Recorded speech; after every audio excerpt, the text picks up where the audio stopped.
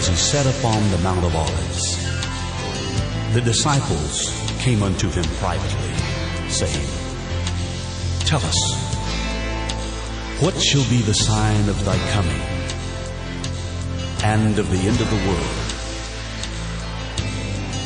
And he said, Now here's a prophecy, my friends, that in the latter days there'll come such times as there had never been and never will be once again. It's in Matthew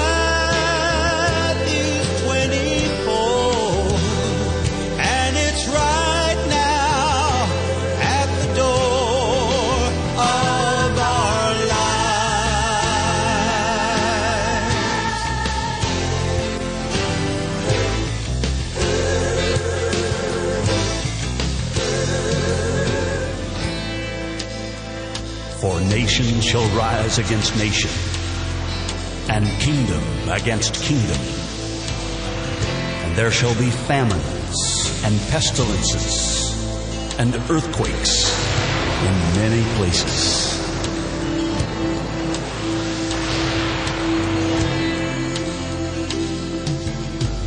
Now here's another word of truth. There shall be wars and rumors too, and many earthquakes there will be. The time is so near, can't you see? It's in Matthew 24.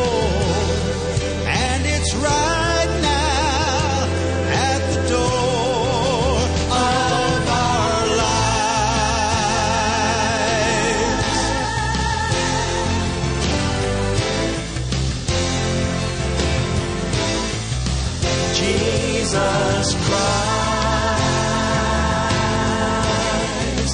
Jesus Christ.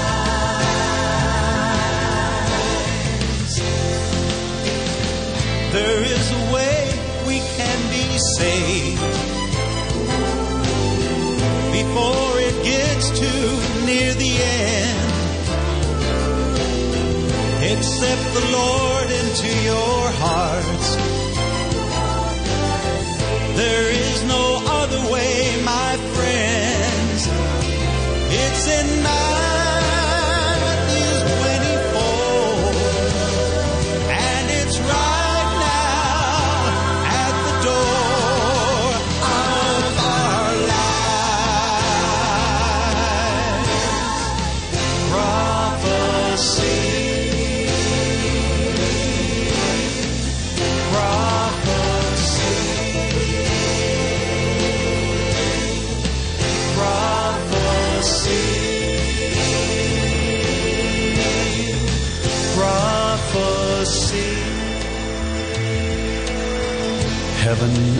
earth shall pass away, but these words will never pass away. And this gospel of the kingdom shall be preached in all the world as a witness to all nations.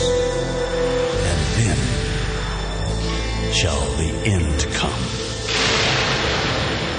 Newswatch Magazine presents the analysis of world news in the light of Bible prophecy with David J. Smith. Jesus Christ has given us, in no uncertain terms, waymarks, by which we can identify when the end of the age is coming. And after all, every single Christian since Christ was ascended into the heavens, and the original disciples saw him at that time, have always wondered when will Christ return. In every generation, they've always thought this will be the time when Christ will come. Jesus wanted to lay to rest exactly some of the thoughts that those people had in those days. But the problem is that they could not understand because the time had not arrived. And so the understanding of Bible prophecy and of the end of the age was not within their understanding. However, when that generation did arrive on the scene, God's Holy Spirit would begin to show them that the end of the age was coming very, very shortly. In Matthew chapter 24, verse 1 and 2, here was Jesus and the disciples. They had been visiting in the temple. And when they departed from the temple, his disciples asked him to look back at all of these giant buildings, the beauty of them, the architecture, the well constructed buildings of the temple and its surrounding area. In verse 2, and Jesus said to them, See you not all of these things? Verily or truly I say unto you, there shall not be left here one stone upon another that shall not be thrown down. Now, Jesus was beginning to tell them something. They hadn't grasped it yet. Many people in the religious community look at 70 AD when the Romans came and destroyed the temple and the city. And they say, well, Bible prophecy was fulfilled. That's what Jesus was talking about. So we can't look at Matthew 24 and apply it to the end of the age. Oh, we'll see whether that's true or not by the time we're finished with the message today. The temple in 70 AD was not destroyed, every single stone cast down. There's a whole section of the Wailing Wall today in which the Jews in the Middle East go and they cry and they touch it and they say their prayers, longing for the day when the temple will be rebuilt, when the Messiah will come on the scene and there will be a restoration and the kingdom of God will come and be established, and everything that they had ever dreamed of and been taught from the Holy Scriptures would finally come to pass. There will be a temple in the last days. There are many, many scriptures that tell us exactly that. In 2 Thessalonians chapter 2, verse 1 to 4, it says this because some of the people of that day were sitting down they weren't working. They weren't supporting themselves. They weren't supporting the ministry. They weren't even supporting their families because they thought immediately the kingdom was going to be established. So Paul wrote to the church at Thessalonica and said, Now we beseech you, brethren, by the coming of our Lord Jesus Christ, and by our gathering together unto him, that you be not soon shaken in mind. Yes, don't let anything change your mind from the belief system that the God of heaven is going to set up a kingdom, the gospel, the good news that there is coming a government that will finally bring peace, prosperity, happiness in every situation in life to the human race. Don't ever forget that. That's what you've been called to believe or be troubled neither by spirit, yes, the unseen spirit world. Satan is leading that. And one third of the angels followed him in rebellion, nor by word, nor by letter as from us. In other words, hearsay. Falsified letters saying, It's time, flee. As that the day of Christ is at hand. No, no one is supposed to listen to these type things. The only thing that we can place our confidence and trust upon is Jesus Christ, His words, His inspired words from the Bible, written down on paper, put together by the Apostle John on the Isle of Patmos between 90 and 96 AD, and is handed down to us today. Verse 3 says, Let no man deceive you by any means. So deception would be the hallmark of the day, even among Christians, especially if they have itching ears and they want to hear some new thing instead of staying on the foundation. For that day shall not come except there come a falling away first. You cannot fall away from something that you do not have. If you have the truth of God, you can fall from it. But if you're already in error and you're already in deception, you cannot fall into deception. Only those who have the truth of God can be caught up in a falling away. And that that man of sin be revealed, the son of perdition. Now, when is he going to be revealed? What is he going to be doing? Where is he going to be revealed as giving his instructions to the rest of the world? Verse 4 Who opposes and exalts himself above all that is called God or that is worshiped, so that he, as God, sits in the temple of God, showing himself that he is God. I've heard about as many heresies as I could ever hear about what this means. It's been fostered that this means a man sitting in the church. That could not be. Because when you look up the Greek word temple, it means a shrine. It literally means an edifice, a building. So he will be sitting in a building somewhere, showing himself that he's God. What building is he going to be sitting in? Will it be this temple? After all, we see no activity visibly today that there is going to be a temple rebuilt. How quickly can they build one? If all the building blocks are already been hewn to size, they could build it very quickly if they were given permission to do so. In Revelation chapter 1, verse 1, then I'll drop down to verse 10. The revelation of Jesus Christ, which God gave unto him to show unto his servants things which must shortly come to pass. And he sent and signified it by his angel unto his servant John. So it's very clear here that this is a revealing, not a closing, but it's a revealing. It's making something known, and it's Jesus Christ that is making it known to his servants. Not to the rest of the world necessarily. Oh, they may have some surface understanding of these things, just like those in the New Age movement. They think that they are the red horse of the apocalypse.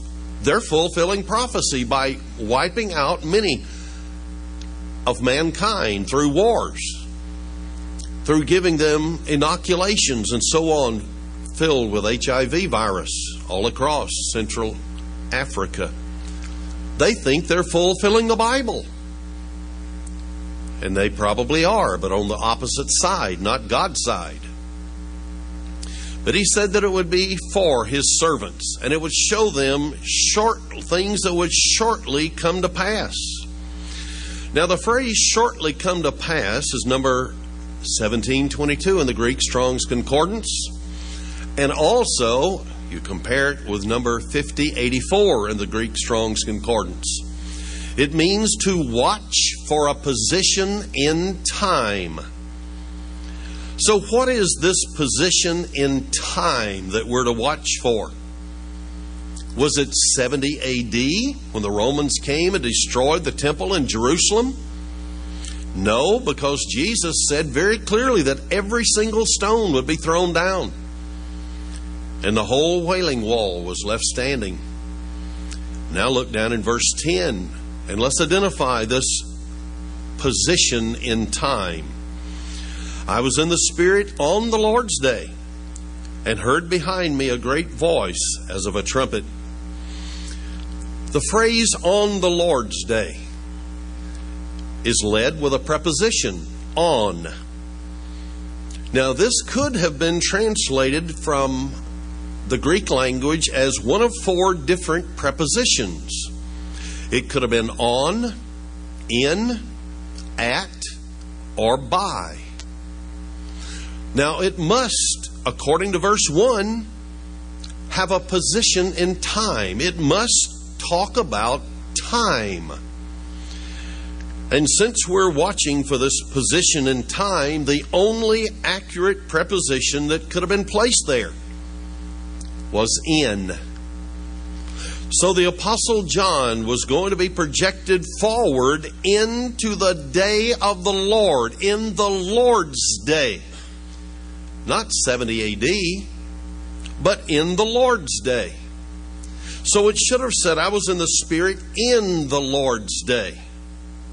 The very close of the age when all of Bible prophecy will be fulfilled. Now, why am I making this point and belaboring it? The book of Revelation is for the end of the age, the Lord's day.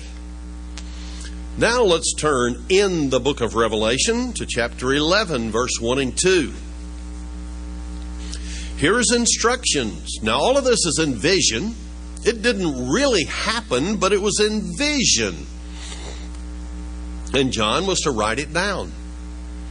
Verse 22 There was given me a reed like unto a rod, and the angel stood, saying, Rise and measure the temple of God, and the altar and them that worship therein.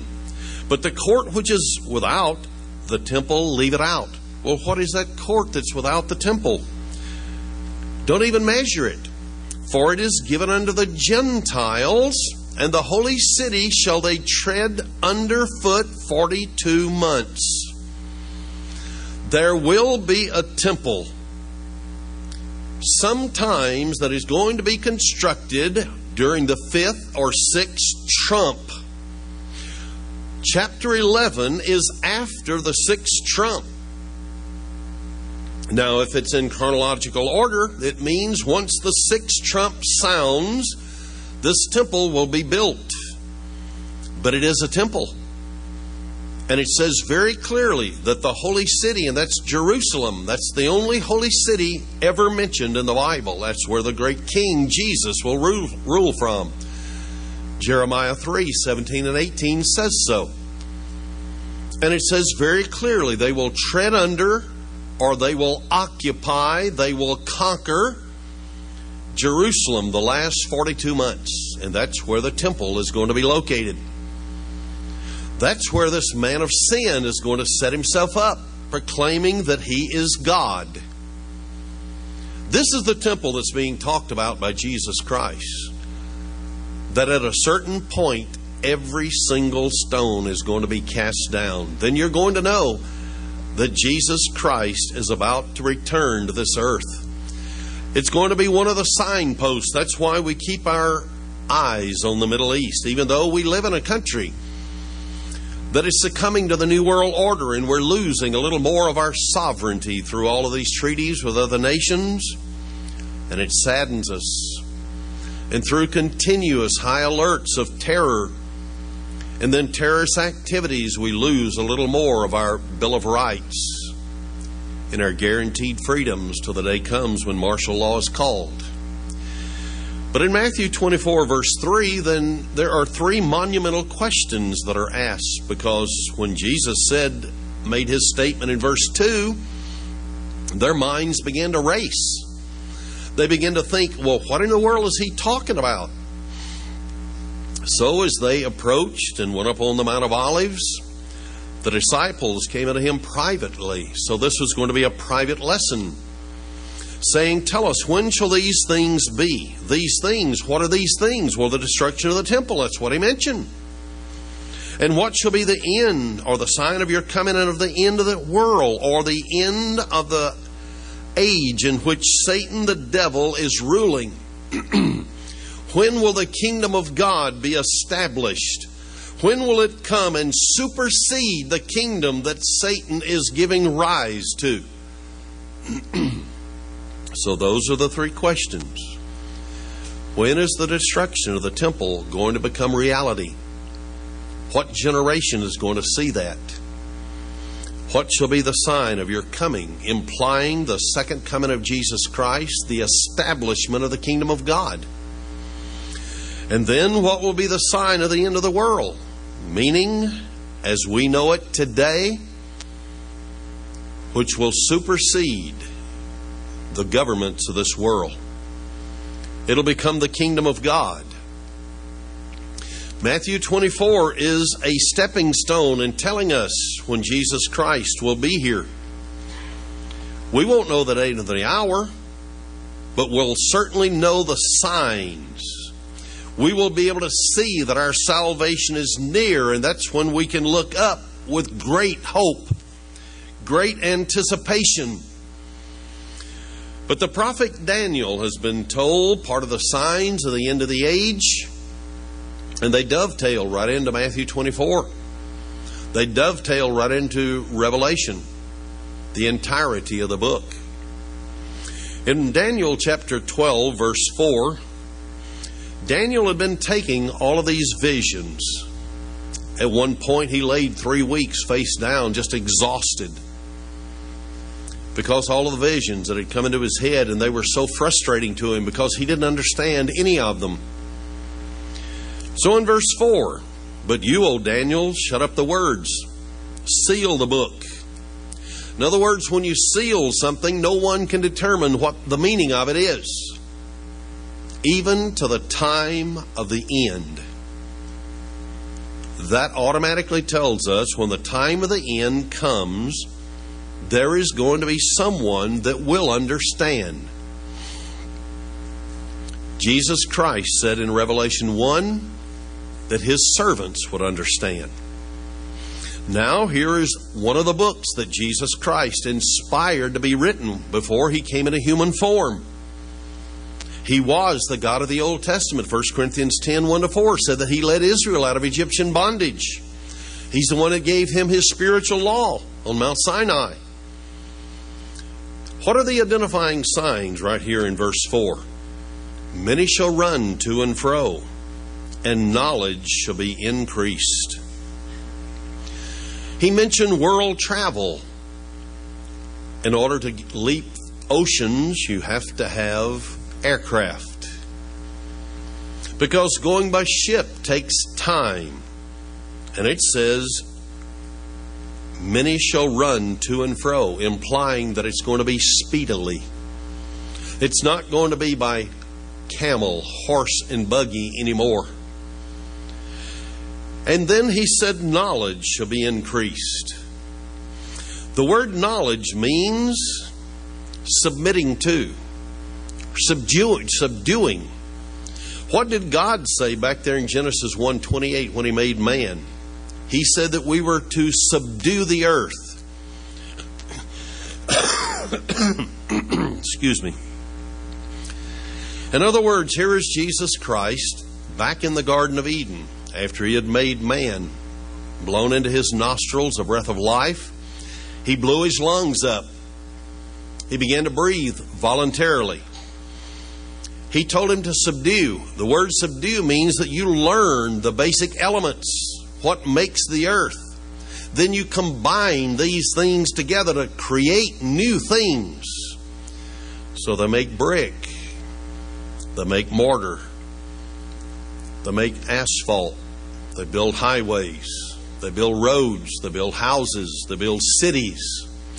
Then they put together other technology and they build aircraft. They build tanks for war, cars to travel, Webster's dictionary says the word knowledge means recognition, familiarity gained by actual experience. So, hands on experience in laboratories have taught men. And now, in modern day times, knowledge is increasing every two and a half years. We see that in the electronics industry. It also means practical skills or technical acquaintance with facts, technology, possession of information, clear perception of facts and truths. And when you have a clear perception of something, you can build tanks, you can build jet aircraft, supersonic aircraft that goes across the oceans at supersonic speeds. You can send men in orbit around the earth. They can land on the moon. You can send satellites orbiting around Saturn and sending pictures back of the rings. You can do many things when you have a clear perception of facts and truths, and that's what it means to subdue the earth. It's instruction, it's learning, synonyms Words having the same meaning as knowledge or wisdom, science, information. So clearly today we have some of those as radio, television, People can hook up and listen to conference calls or speeches such as this from all over the world by internet. They can hook up with telephones and hear anywhere in the world if they dial into the system. And so, this is a part of the knowledge that has been gained in the 20th and the 21st century. We can send voices and pictures through the air, but they're invisible to you and I. There's sound waves going through this auditorium right now, probably hundreds of them. But because we didn't tune into the right frequency, we don't hear them. If we had a receiver and tuned into the right frequency, we could listen. This is all technology, things that have been learned. This is the knowledge that has been increased in the 20th and 21st century. Does this prove that we're living in a part of the times that Jesus said, begin to look up? Your salvation is near. These tools can either be used for good or for evil, either one, according to how government, according to how businesses decide to use them. But what signs did Jesus give? Other signs, and can we identify them very clearly? I'll only have time for one today. That's why I mentioned radio and television because these are technological advances that take voices all over the world.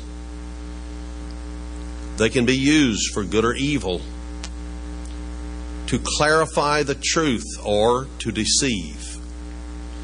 Matthew chapter 24, verse 4 and 5. And Jesus answered and said unto them, because of the three questions they ask, Take heed that no man deceive you. So Jesus made it very clear that something could be used for deceptive purposes. For many shall come in my name, saying, I am Christ, and shall deceive many. Now, this is an answer to the question what will be the sign of your coming and of the end of the world or the end of the age as it is today? So, how could many people be deceived while believing that Jesus is truly the Messiah? That's an enigma. People can't understand how they could be deceived and yet believe in Jesus Christ. Yet Jesus said many would come and deceive. So that means if many come and deceive, that means many are deceived. Now, we're not talking about sincerity. Somebody would not believe what they do if they didn't sincerely believe it. You can sincerely believe something and be absolutely wrong. You can be given wrong information, wrong facts, misunderstandings, and therefore it would lead you down the wrong path. You would be deceived. You would not have the truth. So this says that many, meaning ministers, would come and they would use the name of Jesus. Now, what is in a name? When you look up in the dictionary, it shows that what is in a name is authority. If someone comes in the name of Jesus, it's in the authority of Jesus. So here we're told that many would come in the authority of Jesus, or at least they would say they're coming in the authority of Jesus. And they would still deceive the masses. But they would sincerely believe they're a Christian with all of their heart, and you cannot convince them otherwise. Unless God's Holy Spirit intervenes in their life and shows them Jesus personally gave the answer as to how it's done. The Bible usually interprets itself somewhere. And in this case, Jesus' very own words tells how people can come in his name, seemingly by his authority, seemingly he sent them only seemingly and yet can deceive and lead the masses down the primrose path toward destruction. In Matthew chapter 7, verse 21 to 23. Now here's Jesus. If all else fails, you always go to the very words of Jesus. He, he said, Not everyone that says unto me, Lord, Lord, shall enter into the kingdom of heaven. In other words, not everybody that recognizes that Jesus is the master and controller is going to be in the kingdom. But he that doeth, the old King James word, I like to put it in modern English, he that does the will of my Father which is in heaven. Now, the word doeth or does is number 4160 in the Greek Strong's Concordance, and it means to do.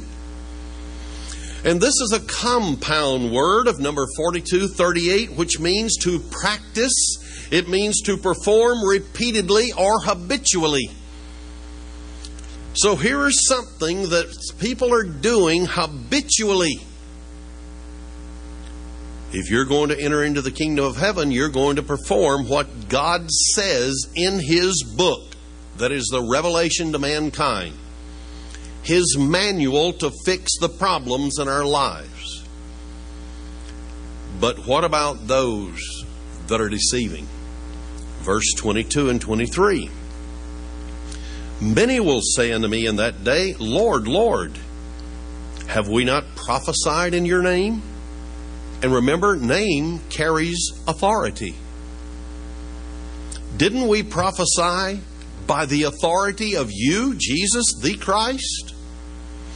And in your name or by your authority have cast out demons? The word here in King James is devils, but there's only one devil, there's many demons. And in your name or by your authority done many wonderful works? Then comes the answer that is not very well received in the religious community today. Nobody likes to admit they've ever made a mistake.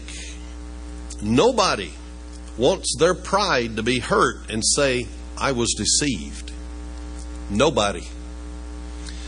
But if a person wants the true God, they will have to. Verse 23 Then will I profess unto them. Now remember, this is Jesus talking. This is not David J. Smith. I'm only reading what Jesus said. I never knew you. You said you were a Christian. You said you came in my authority. I don't even know who you are. Depart from me, you that work iniquity. Now, this is strange. Somebody working miracles in the name, by the authority of Jesus. Yet he said, I don't even know you.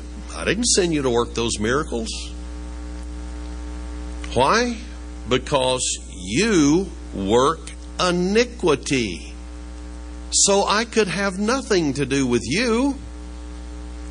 The word iniquity in the Greek language is number 458 in the Strong's Concordance.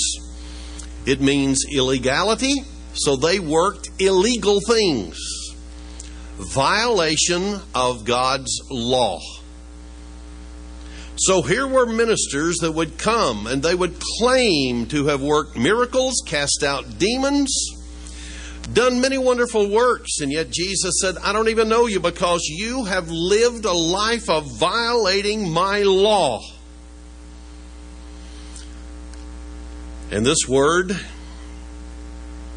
iniquity, comes from the more root word, number 459, which means lawless not subject to law. By implication, the Gentile nations of the world did not receive the law of God on Mount Sinai. The Israelites did. Anyone on earth could accept the Messiah and the circumcision of Israel. Today in the church, it's of the heart. And they could obey the law and they could be counted as home-born citizens. So he said, Look, you break my law. I didn't send someone that breaks my law to work these miracles. There must be another spirit. So, how could all this be? How could these people claim the name of Jesus? And it's true, there have been miracles worked by people that have violated God's law. And they even teach the law is nailed to the cross, it's done away. You don't have to obey it. And they talk about it in very harsh terms. Yet they've worked miracles and claim that it was done in Jesus' name by his authority. So, how could all this be? How could sincere ministers live and teach others to violate God's law? It's really simple when we believe the Bible, that it is inspired, that Jesus Christ gave it to us as a manual. In Romans chapter 8, verse 6 to 8, he says, For to be carnally minded, that's naturally minded, the way we were born is death. But to be spiritually minded is life and peace. Because the carnal mind is enmity against God, it is not subject to the law of God, neither indeed can be. So then, they that are in the flesh cannot please God. So here are ministers that teach God's law is done away, and Jesus said, Look, I don't even know you. I didn't send you to perform these miracles. You did them in my name, and it was honored, and somebody was healed. You did good works, but you lived a lifestyle of lawlessness. You were doing it from a carnal standpoint. How could that be?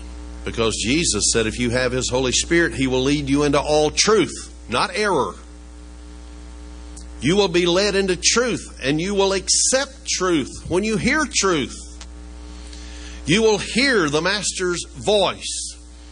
He's the great shepherd of the sheep, and you will recognize this is truth. It is right.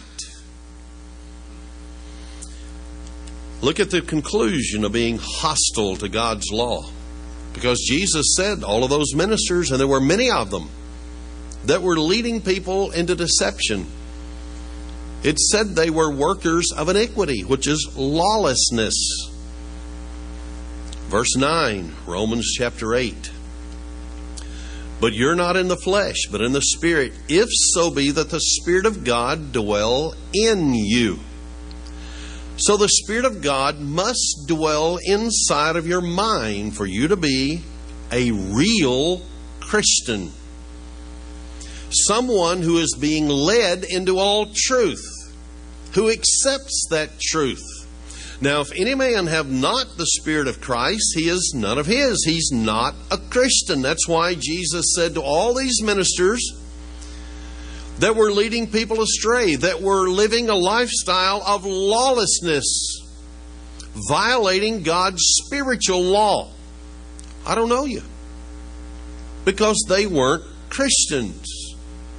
They were sincere, many of them. There are some that use trickery. I remember one time, I won't call the man's name, but he had a machine that created fog and he had a fan and it would blow out from under a door out into the audience. And he said, See, the Holy Spirit's coming into the room.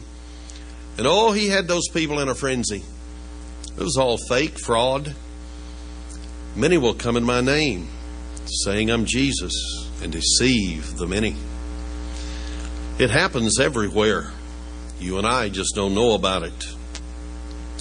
I remember one time in St. Louis, a woman had her son in a daycare because she couldn't afford anything else. It was a freebie.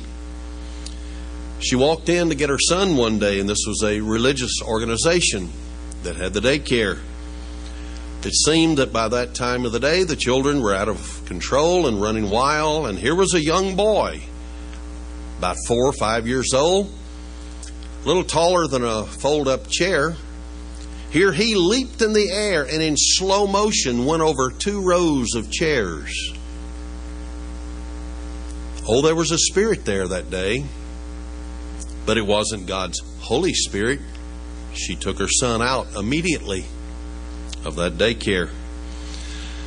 So the stinging indictment of another book in the Bible goes along with what Jesus said in Matthew 24, verse 4 and 5, that many would come. They would deceive many because they're running on their own. The Holy Spirit must be inside of their mind to lead them into truth, not error.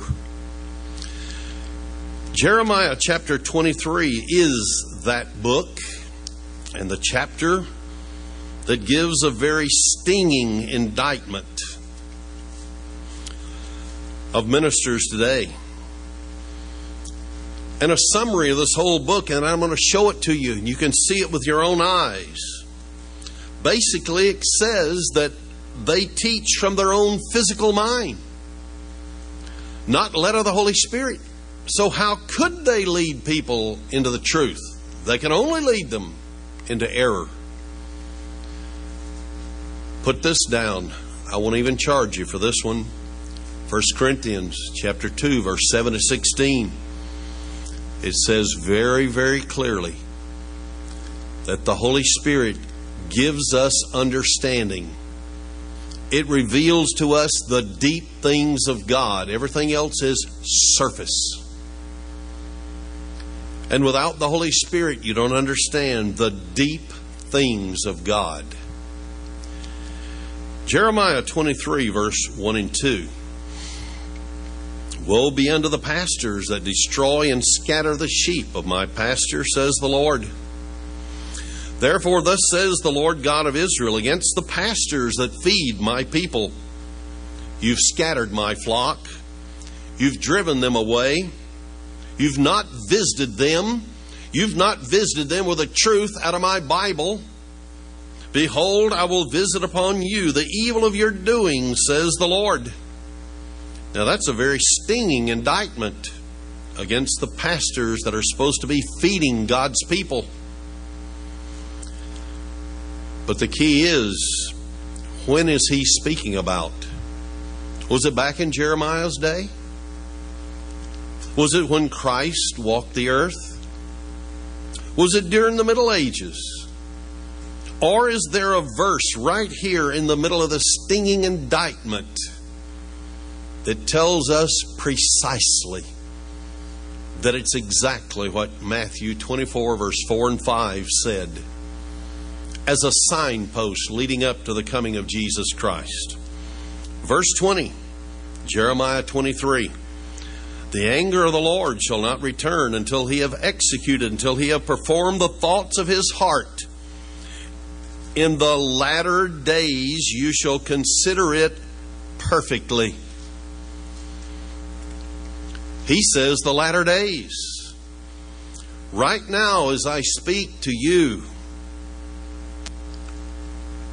this is the latter days. There are pastors that are everywhere deceiving by teaching God's law is done away. Therefore, they live a lifestyle of lawlessness. They teach once saved, always saved, meaning now in this physical life. And so, if you fall away, you're not really falling away. God's already forgiven you in advance. So, it gives you an excuse to live however you want to. And believe me, they take advantage of them. I know many, many people who have done that. They believe that they cannot lose salvation, so they live by the flesh. What will God do to solve the problem of false teachings that have scattered His people? What's He going to do?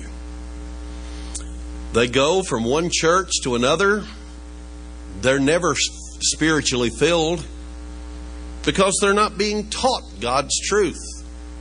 So there's always a hunger left. Maybe I can find something to fill my spiritual hunger down the street.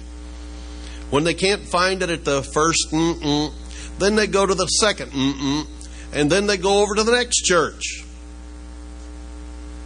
And they just go make a round robin. And then they hear that a minister has left one church, so maybe they'll try that one again and they get the same answer. no spiritual food. Look in Jeremiah 23 because what's Jesus going to do about it? Verse 3 to 8. I'll gather the remnant of my flock out of all countries, whither I've driven them. This is after he comes. Will bring them again to their folds. They shall be fruitful and increase. I will set up shepherds over them, which will feed my flock, or feed them. They shall fear no more, nor be dismayed. Neither shall they be lacking, says the Lord, lacking spiritually, because they're going to be fed God's word. Behold, the days come, says the Lord, that I'll raise unto David a righteous branch, and a king shall reign and prosper, and shall execute judgment and justice in the earth. This is when the deception is going to stop. You know, every prophet of God has always been sent. They prophesied, and Jesus said, You killed, talking about the northern tribes of Israel, said, You killed all the prophets. They didn't repent. They just blamed the one that took the message instead of turning back to the God that sent the messenger. But he says, I'm going to come personally this time. In his days, Judah shall be saved, and Israel shall dwell safely. And this is his name whereby he shall be called the Lord our righteousness.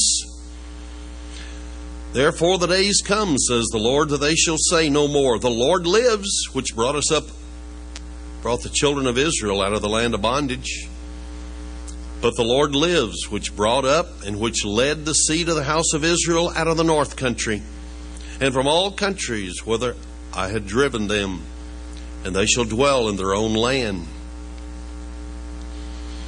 But who are going to be these shepherds? Jesus is coming to rule. There's going to be shepherds. He said he would appoint shepherds, that's plural, over his people.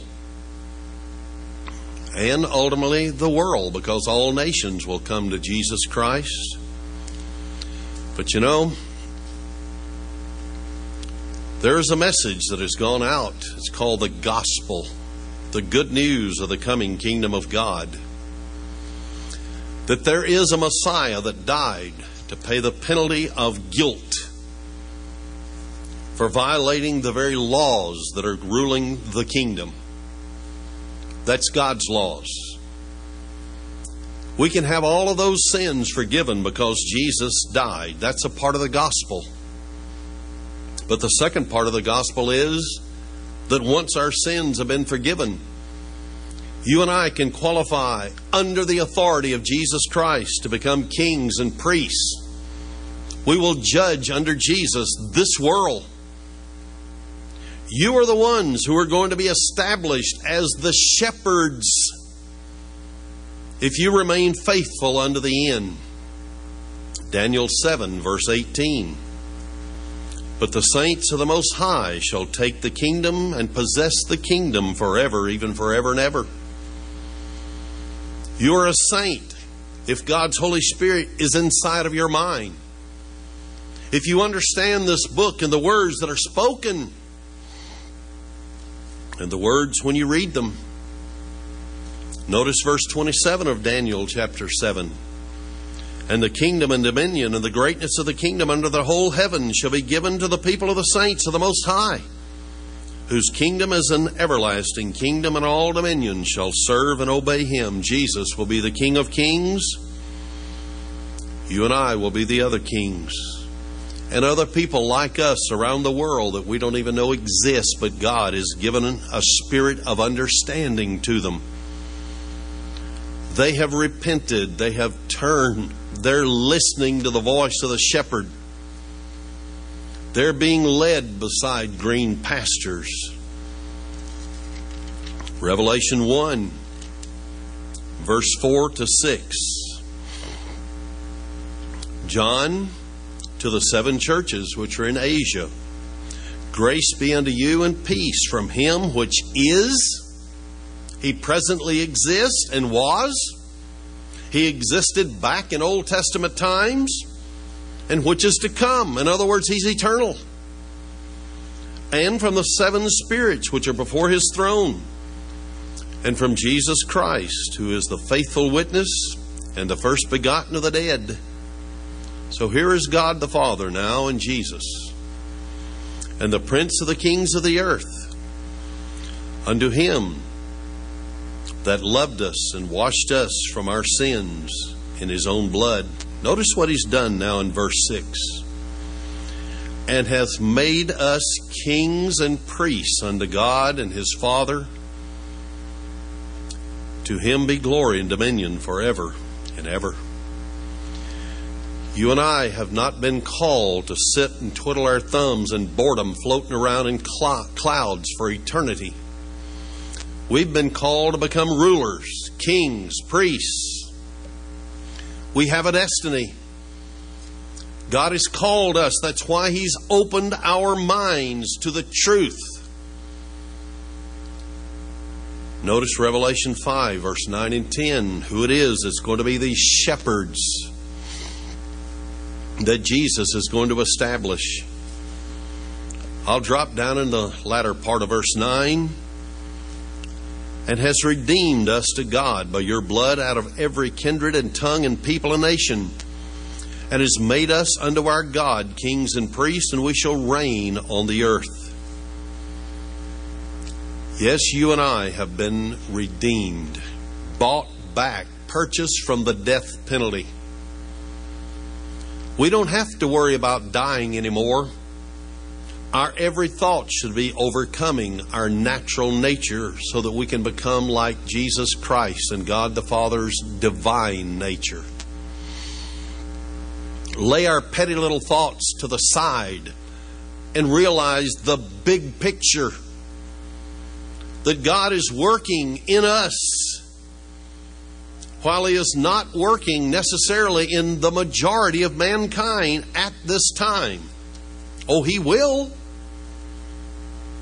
But He's calling kings and priests today to become the shepherds to teach people the truth of God when Jesus Christ rules. Notice Matthew 19, verse 27 and 28. Peter wanted to know what would happen to them if they forsaken everything and followed Jesus. He said, What are we going to have? Verse 28 Jesus said unto them, Verily or truly I say unto you, that you which have followed me, in the regeneration or the resurrection to the new glorified spirit composed body when the son of man shall sit in his in the throne of his glory you also shall sit upon 12 thrones judging the 12 tribes of Israel. That was the original apostles Jesus has a position for you all you have to do is remain faithful and not become sidetracked. When the kingdom of God is established, then false ministers will cease to speak on the earth. Satan will be placed in the abyss and his angels for 1,000 years. There will be no more deception. When you and I and others, all the way from righteous Abel, that have ever had God's Holy Spirit, are resurrected or changed, and we're given that new body and we're given our position of responsibility,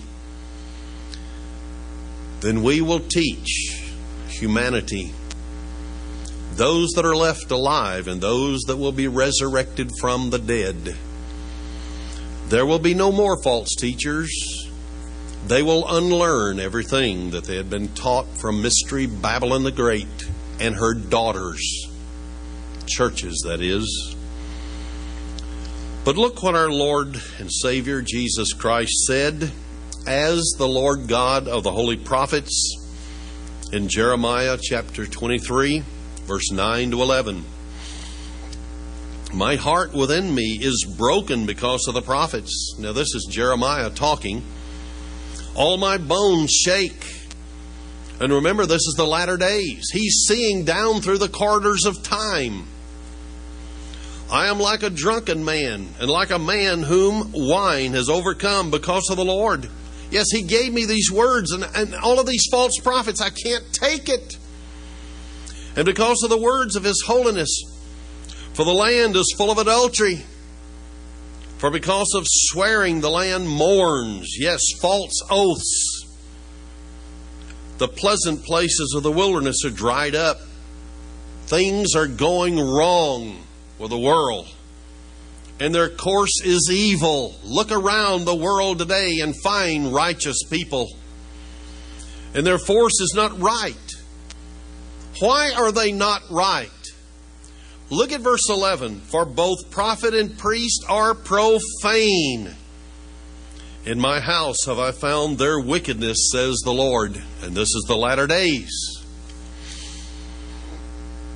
He said the prophet and the priest were profane. This is a Hebrew word, profane, number 2610 in the Hebrew Strong's Concordance. In a moral sense, it means they are corrupt, they are defiled because they don't obey God's spiritual laws. They teach they're done away, they're nailed to the cross. They're only for the Jews, they say in Old Testament times, not even realizing there were 12 tribes of Israel, not just one, Judah. That shows the ignorance of the ministers today. Jeremiah 23, verse 12 and 13. Wherefore, there these false ministers, these prophets, self proclaimed prophets and priests, excuse me. Therefore, their way shall be unto them as slippery ways in the darkness. They shall be driven on and fall therein. For I'll bring evil upon them even the year of their visitation, says the Lord. You want to be a minister, self proclaimed, and do it yourself? You just saw what he said. There is not going to be pleasurable for those that are feeding falsely the flock of God and taking them further and further away from the true God. I've seen folly in the prophets of Samaria. What was Samaria? It was the capital city of the northern ten tribes of Israel that was taken into national captivity, sifted through the nations. So, this is a stand in for the modern day capital of wherever the ten tribes of Israel are, the capital city of Joseph's two sons. They prophesied in Baal and caused my people Israel to err. So Samaria was the capital city of the northern ten tribes of Israel. That modern day capital today would be like Washington, D.C., London, England, where the lost ten tribes of Israel have migrated and planted their livelihood. Notice verse 16 now of Jeremiah 23. Thus says the Lord of hosts. The old King James word, hearken, doesn't make much sense today. That's like if you have a coal and you got to hark up your stuff. Uh, that, that's not good. Let's put it in modern English. Listen not unto the words of the prophets that prophesy unto you. They make you vain.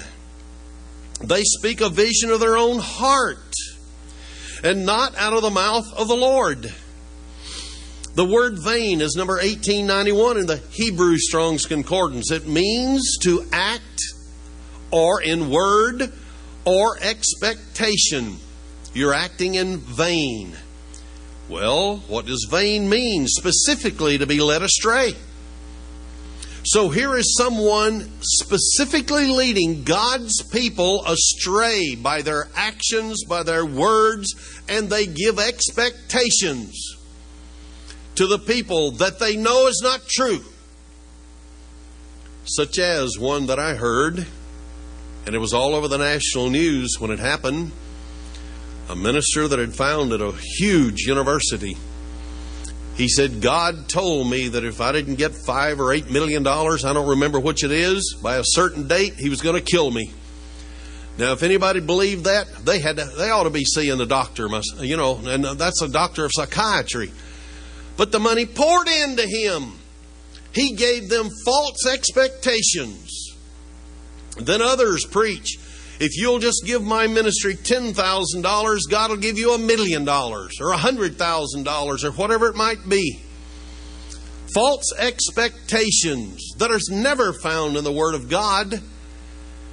That's why God is condemning and giving an indictment to the ministers of the Israel today. Webster's dictionary says the word vain means empty. Yes, they get up and they make empty promises that they cannot fulfill and that God will not fulfill because He's not behind them. Now, there's another spirit that may try to help them to fool more people.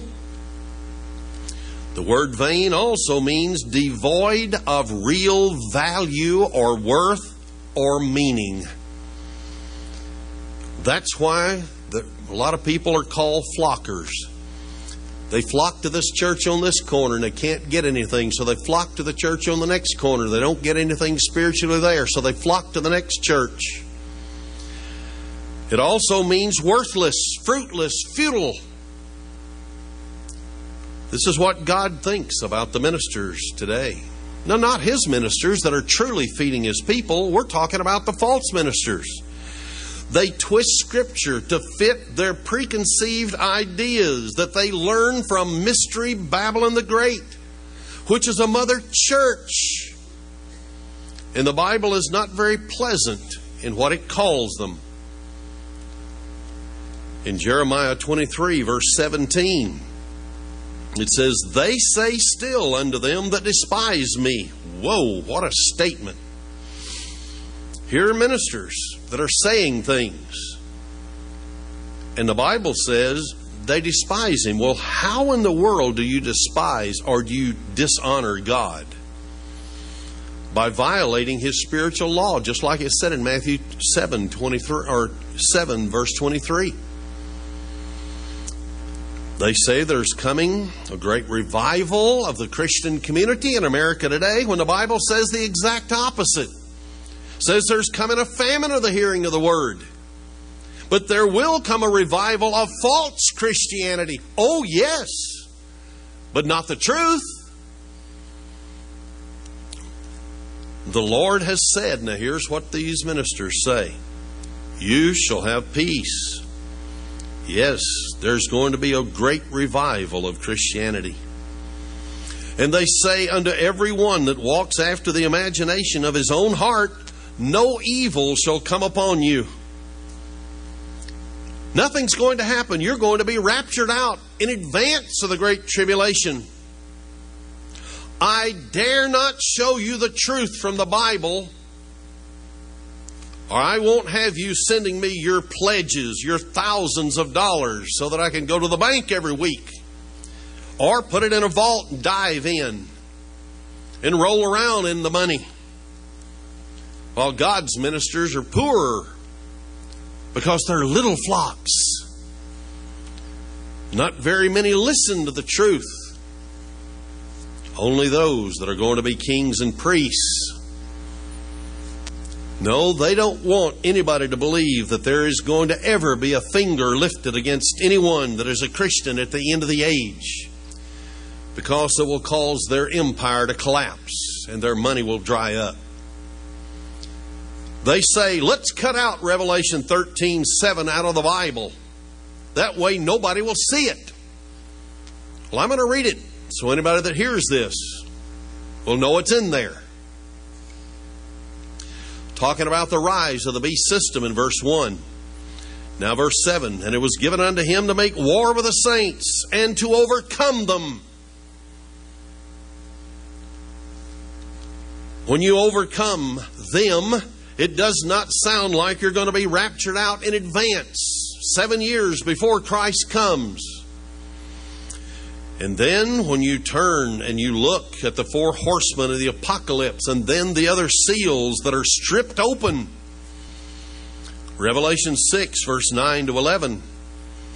And when he had opened the fifth seal, I saw under the altar the souls of them that were slain for the word of God and for the testimony which they held. And they cried with a little voice, saying, How long, O Lord, holy and true, do you not judge and avenge our blood on them that dwell on the earth? Those that killed us. When are you going to take vengeance upon them? Did Jesus say, Don't worry, I'm going to rapture those at the end of the age so that nothing will happen to them? Sorry you got martyred. He didn't say that. He said, And white robes were given unto every one of them. Why? This is a future. They're going to be in the kingdom of God. And it was said unto them that they should rest yet a little season. Yes, rest in your grave. Stay there. Time will pass until their fellow servants also and their brethren that should be killed as they were should be fulfilled. That's the Bible. Not you're going to be raptured out in advance. Every righteous person throughout history has always suffered persecution. Now, there are at least three places in the Bible that does talk about a place of safety for those that Jesus Christ accounts worthy, or that He's going to seal them before the heavenly signs come and plunge asteroids into the earth near extinction level events, the first four trumpets in chapter 8 of Revelation. He's going to seal them so they will survive and be alive because he said in Matthew 24, 21, and 22, except for the elect's sake, no flesh should be saved. So he's preserving some of his people. But only those that he accounts worthy. All others are going to have war made against them. And they will be overcome. Believe me, when you teach this, you don't have a big following. But it's biblical. And if you compromise on one thing, you'll compromise on another, and another, and another, till you're just like everybody else. So if you don't compromise on anything, the seats are empty, most of them. And you know what? That's okay. God is in charge. Jesus is head of the church. He's the one that adds to the church those that should be saved. In Jeremiah 23, verse 18 to 28. For who hath stood in the counsel of the Lord, and hath perceived and heard his word? Who has marked his word and heard it? In other words, which of these ministers and prophets have been corrected by the Word of God and they listened to it and they read it and they said, I will not change a word of it. I will only speak what is in the book. Behold, a whirlwind of the Lord is gone forth in fury, even a grievous whirlwind. It shall fall grievously upon the head of the wicked. The anger of the Lord shall not return until he has executed, till he has performed the thoughts of his heart in the latter days. You shall consider it perfectly. Yes, he says in verse 21 and if you want the absolute truth, you go to God's Word. He said, I have not sent these prophets, yet they ran. I have not spoken to them, yet they prophesied. If they had been called of God, they would have spoken the words of God and not twisted for their own purposes. They wouldn't care if they had to eat peanut butter. They wouldn't care if they had to walk. But they would preach the truth. Verse 22 And if they had stood in my counsel and had caused my people to hear my words, then they should have turned them from their evil way and from the evil of their doings. I'm a God at hand, says the Lord, and not a God afar off. Yes, He's the head of the church and he knows who are his. He said, My sheep hear my voice. He said, I am the great shepherd of the sheep. I know my sheep. Jesus knows who is his. He's not a God way off somewhere. He knows how to perfectly correct us so that we can stand in the day of trouble, so that we can get problems out of our lives today so that he can account us worthy to escape the things that are coming, to help preserve mankind alive. We cannot listen to and we cannot be a part of those that are the prophets that are condemned in the Bible because they will not listen to God's word. God's word is the truth. It's the truth, the only truth. Not the Koran, not the Zoroastrian so called holy books. None of those are the truth. Verse 24 Can any hide himself in secret places that I cannot see him? Yes, God asked that. You and I can't hide from God. Those prophets that preach falsely can't either.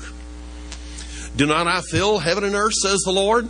I've heard what the prophets said that prophesy lies in my name, saying, I've dreamed. Just like I've relayed before how that on television one day up in Oklahoma on a national broadcast, a man was just talking, and then all of a sudden he said, held his hand up to his head, right over his eye, and said, Yes, Lord, I'll tell him. And proceeded to tell the biggest lie. I thought of 10 scriptures immediately that contradicted everything the man said. And then it wasn't two minutes later till he did it again, deceiving the people. God said, I see you. You're not getting away with anything. You say you dreamed. It wasn't a dream from me. It's out of your own thought processes, for your own purposes, to deceive people and get their money. How long shall this be in the heart of the prophets that prophesy lies? Yea, they're prophets of the deceit of their own heart. You know, this is hard to give a sermon about false prophets when you are standing before the congregation as a minister. But if your conscience is clear, you don't have to worry about it, do you? Verse 27 Which think to cause my people to forget my name by their dreams, which they tell every man to his neighbor, as their fathers have forsaken my name for Baal. The prophet that has a dream, let him tell a dream. And he that has my word, let him speak my word faithfully. Underline that faithfully. If anybody ever hopes to be a minister of God, you better know that you better speak those words faithfully. If you don't speak them faithfully, you will come under the same condemnation as all these other ministers, these false prophets. Yes, Jesus Christ is the head of the church. He knows who are His. He listens.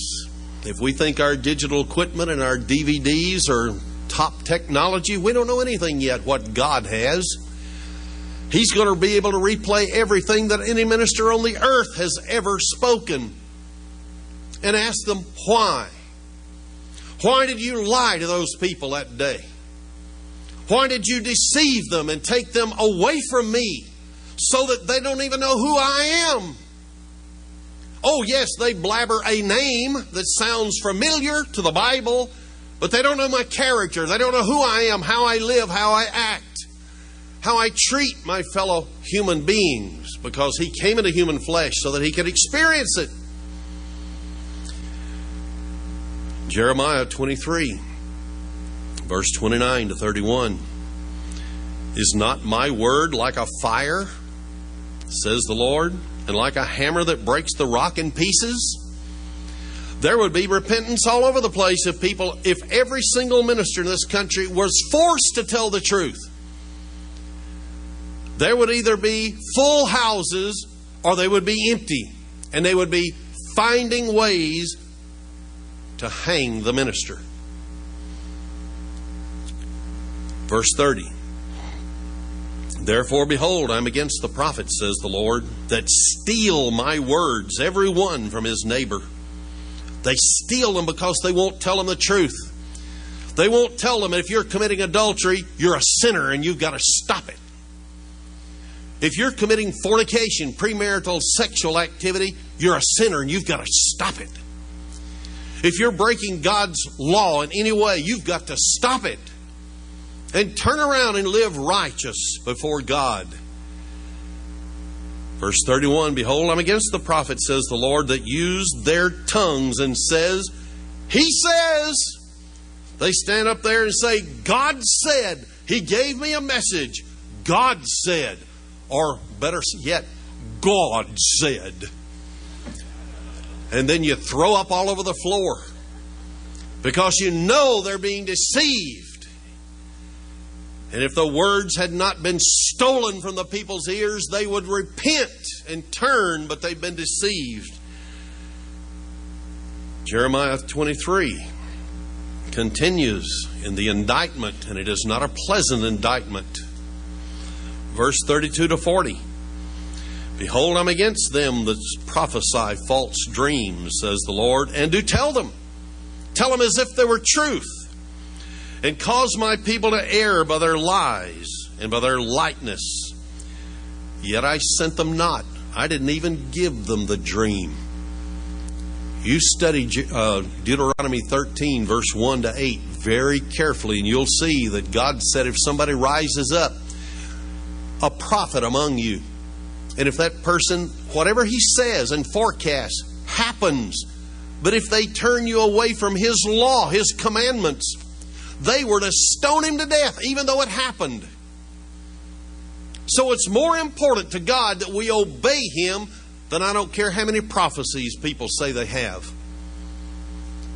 It doesn't matter about that. Obedience is what's important to God. Development of character is what's important to God.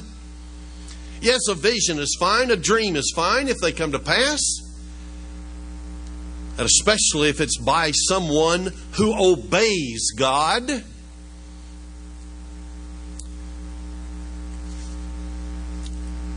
Verse 32, the latter part. Yet I sent them not, nor commanded them.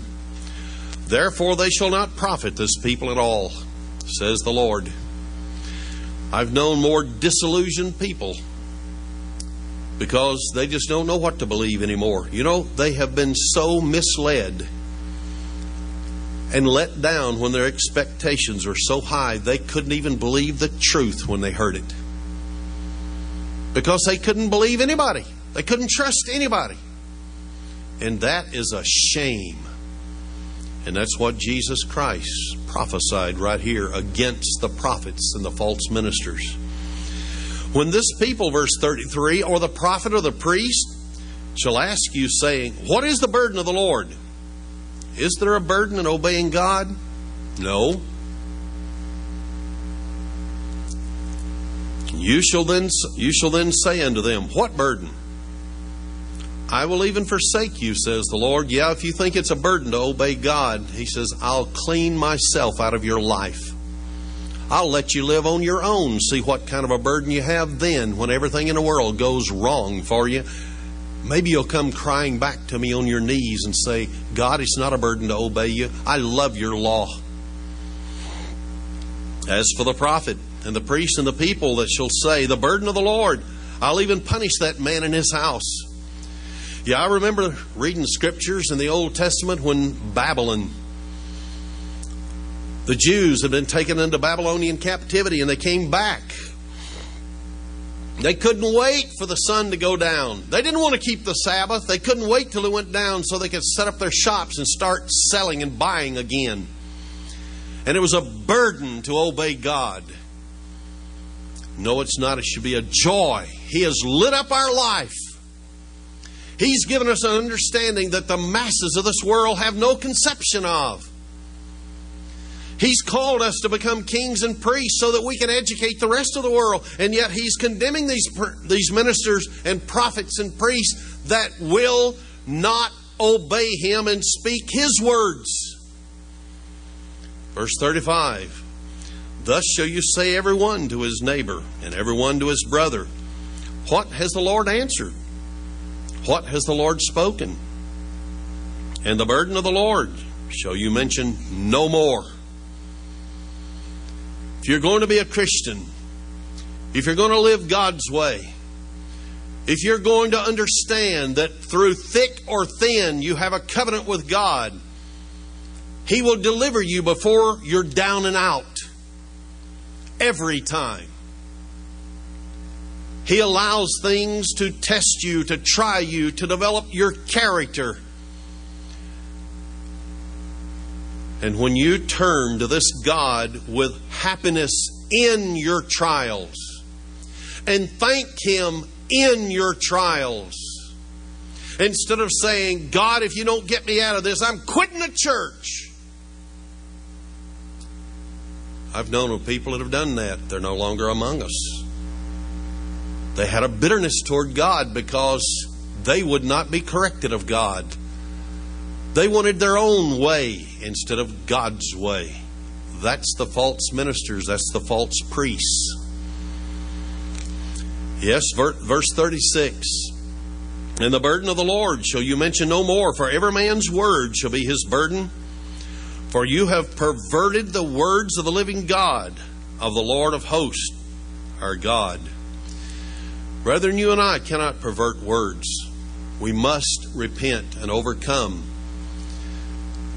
We can't let anything go out of the pulpit that is a perversion. But that's my responsibility. Your responsibility is to speak one to another. Never to let a perverted word go out of your mouth. Never one perverted word. Then you're disobeying God. You're fitting yourself into the same category that God is giving a stinging indictment against those that cause people to err. Because when you give a perverted word out of your mouth about another brother or sister or a situation that happened, then all of a sudden you've changed the thought process of somebody toward that person when they might have loved them with all their heart at one time. Now they're skeptical of them. Perverted words destroy. That's why God put a whole chapter in the Bible about priests that pervert his words and cause his people to err.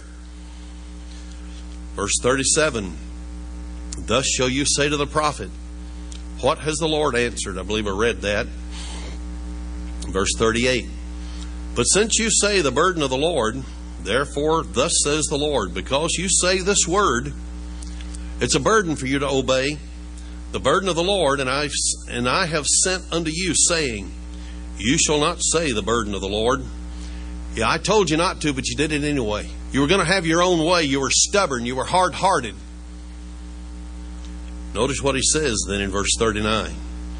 Therefore, behold, I, even I, will utterly forget you. What did he say back there in Matthew 7 23? To the ministers that were living iniquity, a lawless lifestyle but they were performing miracles apparently in the name of Jesus by his authority, saying, Jesus is the Savior. Give your heart to the Lord. No, you repent and you're converted inside because you've changed your mind. He said, I'll forsake you in the city that I gave you and your fathers and cast you out of my presence. Brethren, it is a dangerous thing for us to ever think that we can pervert God's ways in our own words, whether it's from the pulpit or privately among individuals. Perversion, God hates. He showed it right there in that chapter. I will close with two scriptures now Isaiah 28. I want you to realize that you and I, who have the Holy Spirit of God and have an understanding of God's ways, cannot look down upon any of these false ministers and the people who are deceived. We can't do it. God left Satan in the world and he left the demons. They are the ones who are deceiving, according to Revelation 12 9. And God also put his book in such, he wrote it in such a form that unless the Holy Spirit is indeed inside of your mind, you cannot understand it. You will think that it'll contradict itself in a hundred different ways when it won't. But because you don't know how to put it together, you have no understanding. Isaiah chapter 28, verse 9 to 13. Whom shall he teach knowledge? And whom shall he make to understand doctrine? Them that are weaned from the milk, drawn from the breast. For precept must be upon precept, line upon line, here a little, there a little. For with stammering lips and another tongue will he speak to this people, to whom he said, This is the rest wherewith you may cause the weary to rest, and this is the refreshing. Yet they would not hear. Now, why would God write the Bible where you got to take a little piece over here and a little piece from over here and then another piece from over here and put all that together? Why didn't He write it in a straight line, in a column, and say, number one, this is it, number two, this is it? Verse 13. But the word of the Lord was unto them precept upon precept, line upon line, here a little, there a little that they might go and fall backwards and be broken, snared, and taken. God has deliberately allowed the world to be deceived. He's only choosing kings and priests today. That's why He's making a difference in us and them. Two different pronouns the world and God's people. God's people have His Holy Spirit. The rest of the world does not. Therefore, it is up to you and I to live by a biblical motto. That biblical motto is 1 Thessalonians 5, verse 19. Prove all things, hold fast to that which is good